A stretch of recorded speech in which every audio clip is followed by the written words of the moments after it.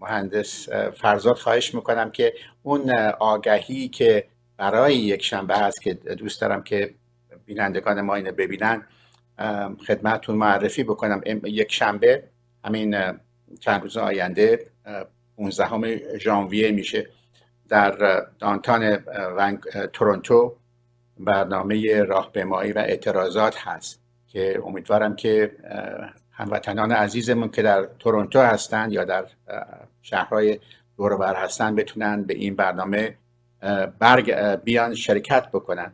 و مطمئن هستم در کشورهای دیگه در شهرهای دیگه هم این برنامه به یک نحوی ساعتهای مختلفی داره اجرا میشه.